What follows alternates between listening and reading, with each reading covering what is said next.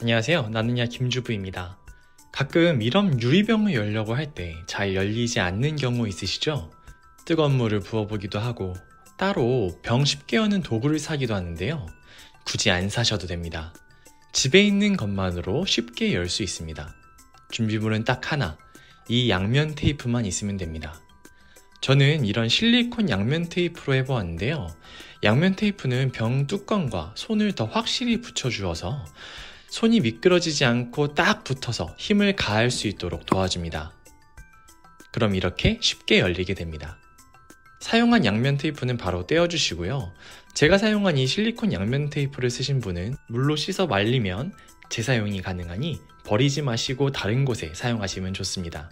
영상이 도움이 되셨다면 좋아요 부탁드립니다.